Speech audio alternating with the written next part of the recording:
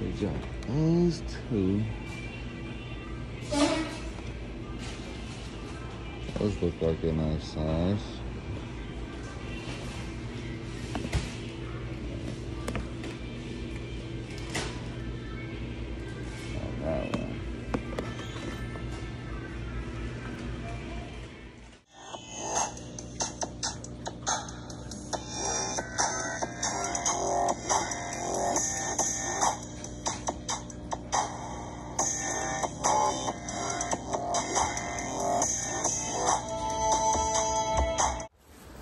What's going on with you guys? Thank you for tapping in with me again today.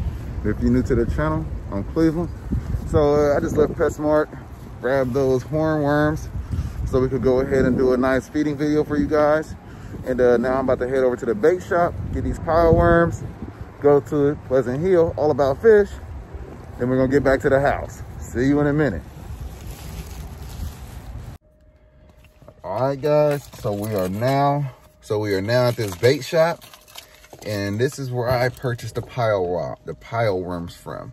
So um, this bait shop is called Gotcha. It's uh it's over here in Rio Vista. So if you're local and you're around this area, or even if you just pass through this area and you like to fish, come check them out.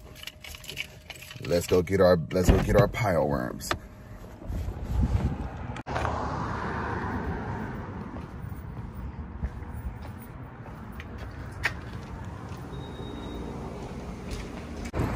All right, guys, so uh, we got our worms. We grabbed a dozen of our pile worms, and then we grabbed five dozen of our night crawlers. So now, it's all about fish. Ah. These guys are about to eat good. These guys are gonna eat real good. Hey, all right, so, so now we just made it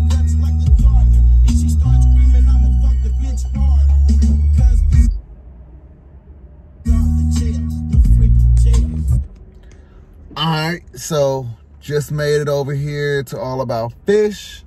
We're about to go in here. We're gonna grab some rock, possibly. We're gonna definitely grab some Nemos and some inverts. I don't know. We're gonna see. We I, need to get some more salt water though. So first of all, we're gonna get that salt water. We're gonna grab that other fish because again, the other one was too aggressive. So bringing that one back. About to get the about to get this other one, the smaller, and um, yeah. So let's see what these. Let's see what they have in here.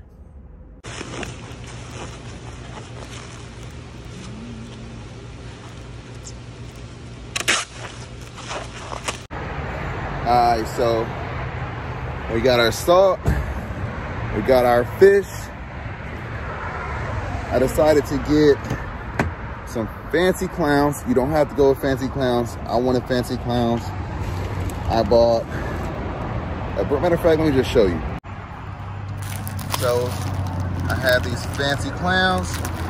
I have these damsels right here. And then, uh, as you see, had to get that guy, smaller one. Then I got this branch that I'm gonna put into the 20 gallon. So we got everything that we needed.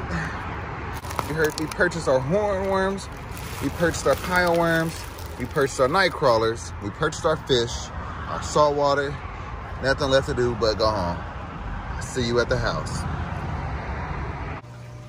All right, what's going on? We back at the house. We have our branch that we're gonna put into this aquarium right here. We have our two clowns. See them? Okay. And then we have our beautiful two damsels. So, obviously, I need to get these guys acclimated before I'm able to put them into this tank.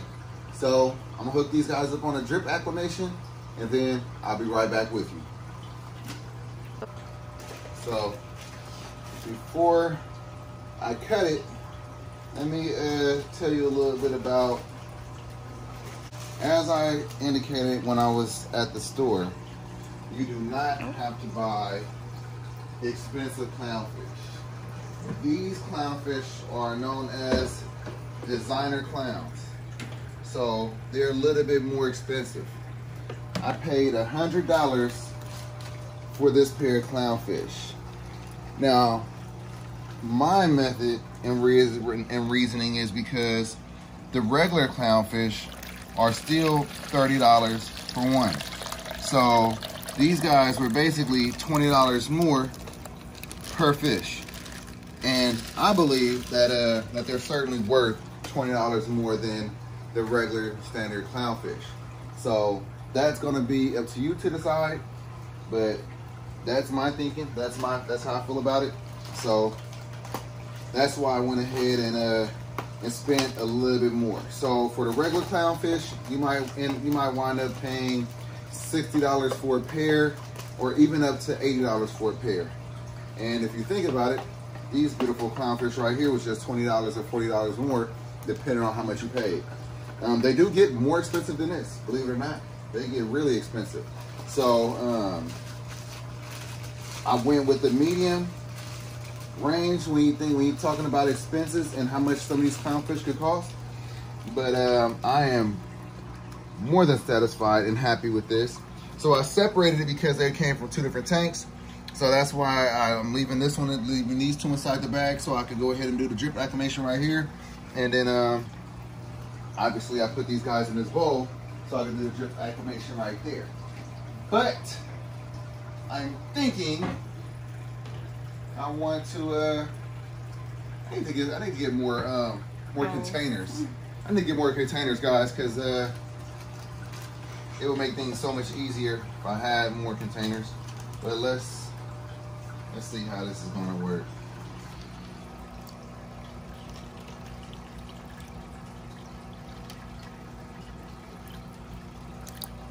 So I will definitely pour out some of this water because I don't need it all since I'm going to be adding water into here from the tank. And again, you do not have to do it this way. By all means, please do it whichever way is comfortable for you because I don't want something to happen to your fish and then I'm to blame for it. So, let's get these guys dripping. And then we're gonna go ahead and move them on up in there while we wait on these guys to get acclimated, I will place C in that branch.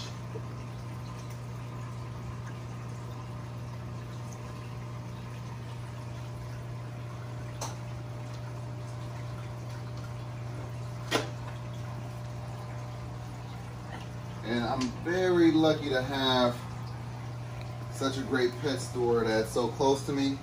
This branch right here was about 18 bucks. and uh, it's exactly what I was looking for. Hmm. Look at that shirt. Look at the shirt, guys. Look at the new merch. Oh, this is what I was talking about. So, I was telling you how some of these, these, these, the, some of this live rocket has hosts. Look at that little baby anemone on, on top. I don't know if you could get it focused. You see it? It's right here. I see it. No, you're not really pointing in that spot, babe. It's right there behind it. There you go. Now you guys see it. There we go.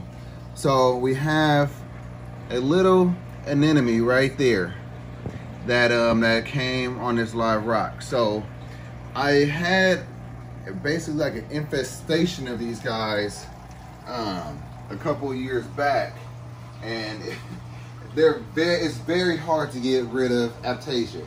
So I bought all the different things that they say could remove aptasia.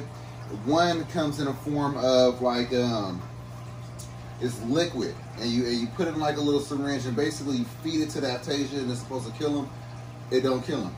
So in the end, what I ended up doing was buying a filefish.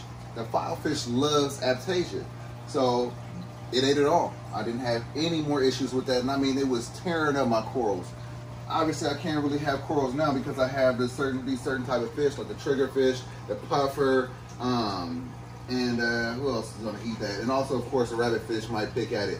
So I cannot have corals which is okay with me. But um, if you want corals, you definitely want to make sure that you have fish that will not eat it. But if you have the nuisance aptasia, then you could go ahead and make sure you also have that fish. Like I said, the filefish will eat that. So, yep, just a little food for thought, guys.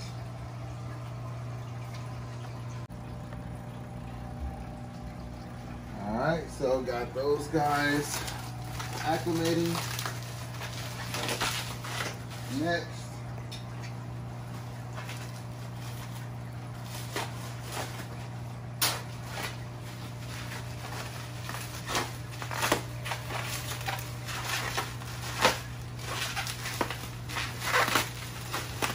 Next we're gonna situate this branch in there.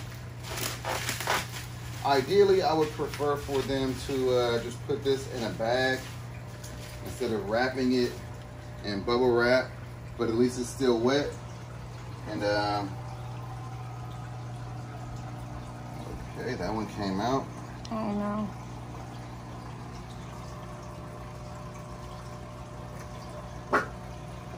Harley. So for now, I'll just situate it like this. I don't know how That looks good. Look. how that looks. Looks pretty. Thank you, babe. I appreciate you saying that. So my babe says pretty is pretty.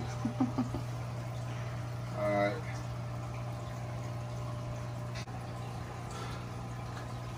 All right, so we have our branch in there. We have our fish over here acclimating. Once they're done, I'll be back and we'll get them into that tank. See you in a minute. Yeah, come on. Come on, guy. Come on. Come on. So I guess he jumped out. Come on. There you go. Come on. I see you.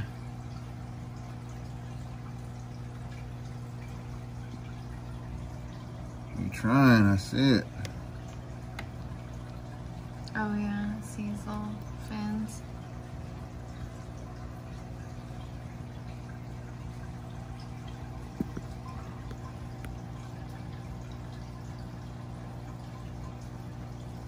Come on, guy. Get some air in your in your gills. Get some air in those gills. Come on. There you go. There we go. There we go. Babe, you brought him back. There we go. Good job. Give me a kiss. Mwah. That's what I'm talking about. Your back. There we go. Oh man, guys. You did that. So uh, maybe it's, maybe this setup right here isn't the best setup. I won't do it again. This guy jumped out, was dried out. I don't know how long he was on the floor, but um, we just revived him, guys. He's gonna live. So, that. Call you Dr. Fish. Man, so happy about that. All right. Yeah.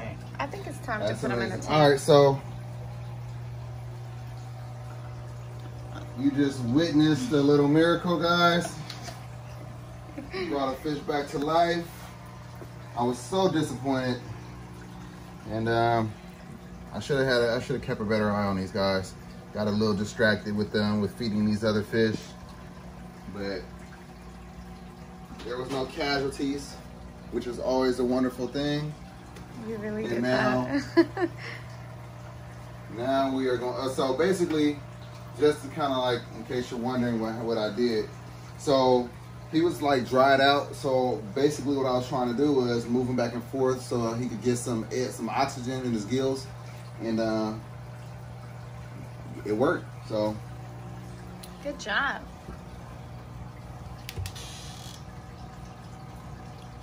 let's find the net that we want. All right. Who's going in first? we are going to put in these beautiful clowns. Come on. Oh. And now, Oh no. now we're going to get in these damsels and I'm so happy that not only were we able to save them, but I'm glad that you guys were able to see it for yourself because Right. just in case one of your you know you have a fish that ever that ever get out if you catch him in time you may have the chance of saving him so don't always just give up on him right away and that's the one that was that was on the floor Oh, you could tell. yeah his eyes are a little bugged out but you gotta understand like he was on his way out so Yeah. All right, babe. I gotta get Carter. i know all right You want? All right, so we finish that up. I'll do the montage. All right, guys. I'm hoping that he'll be okay. He's swimming. We'll uh, we'll see. He was practically dead on the floor, but anyway, that's it. We have our clownfish, our designer clowns. I will find out exactly what kind they are because they didn't they didn't tell me. Um, it was also wasn't written on the tank. But we have our clownfish. We also have our damsels in here. And um, these are just the first additions to this 20 gallon. So what I'll do is I'll probably wait a couple weeks before I add anything else in here um, because I don't want to run the risk of getting any of these fish sick. Um, so just be a little patient. Like I said, we're going to add in the inverts. We're going to add the cleanup crew. We're going to put corals in here. We're going to do all of that. It just takes a little bit of time. You don't want to rush it right away. Um, you, you speed it up. That's how you get fish sick. That's how you lose fish. That's how tanks crash, um, etc. So I hope you enjoyed this video. I'm, after I'm done, I'm going to run a little montage on these guys so you can, you know, just enjoy them as much as I do and plan on continuously doing. But um, that's it. Thank you for watching. Please share this video if you enjoyed it. Like, comment, subscribe. Hit that notification bell so you know whenever I upload. Follow me on Instagram at the Fish Corner. And uh, don't forget to check out the merch. With that being said, peace.